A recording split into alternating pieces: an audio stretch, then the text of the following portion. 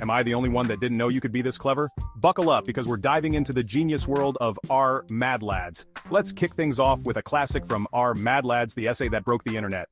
Imagine being told to write a detailed analysis of Fight Club and submitting just one line. The first rule of Fight Club is, you do not talk about Fight Club. That's it, that's the essay. Bold? Yes. Lazy? Absolutely. Effective? Well, it got an A. Now let's talk about the art of delegation.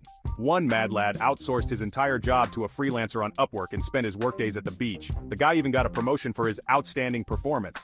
If that's not working smart, I don't know what is. Ever heard of the print your answers professor?